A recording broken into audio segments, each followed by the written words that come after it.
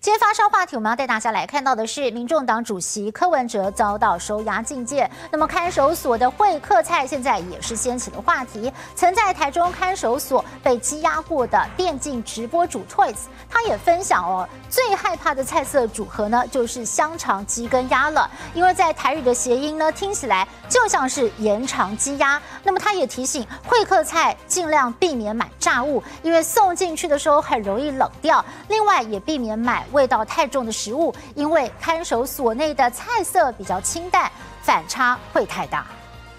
里面这个被告最害怕的就是香肠、鸡跟鸭。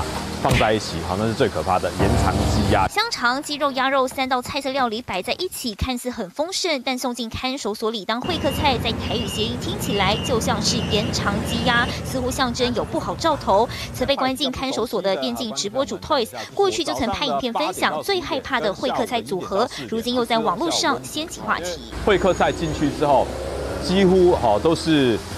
放了好几个小时，基本上一定冷掉了。不要买炸的，因为炸的进去就不好吃了。会客菜该怎么准备才能维持美味又符合规定呢？Toys 分享，除了避免炸物，也尽量避免味道太重的食物，因为看守所内的菜色料理方式都比较清淡，对比起来反差会太大。另外，他也提到罐头类食品，因为含有铁，会被认为有机会拿来当做攻击人的器具，因此要尽量避免。会客菜一个重要的重点就是里面不要有骨头，不要有坚硬的东西，因为有可能会藏有。金属，所以像是鸡腿饭，或者是说鱼，或是像是带壳海鲜，检查的过程当中，它是会拿金属去刺里面的，不管是肉类啦，或者是蔬菜，看看有没有硬硬的东西在里面。会客在经济不少过来人的推荐菜单也曝光，Toys 就分享像是番茄炒蛋、梅菜扣肉跟笋丝是他推荐的三道菜色，而在监狱里头还有一种自创的泵粥，是把泡面捏碎后再加进白粥，再撒上调味料。据说有待过看守所的人都知道这个意外美味的。创意料理引发热议。